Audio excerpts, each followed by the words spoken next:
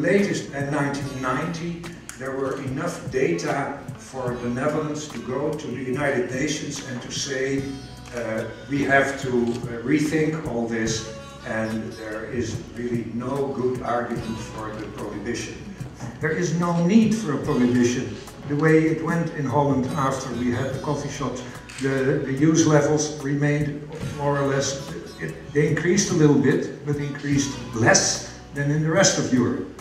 So why prohibition? There's simply no need for it.